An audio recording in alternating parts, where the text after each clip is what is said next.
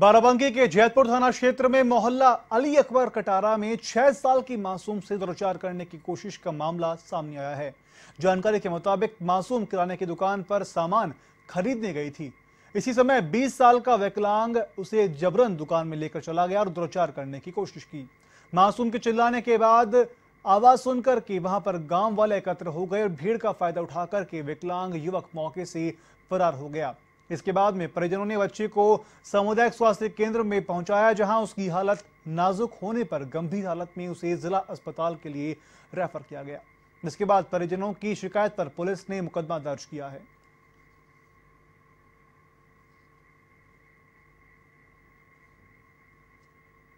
देश और दुनिया की हर छोटी बड़ी खबर के लिए सब्सक्राइब करें एवन टीवी न्यूज़ साथ ही बेल आइकन को प्रेस करें ताकि आप पा सकें ताज़ा खबरों की नोटिफिकेशन।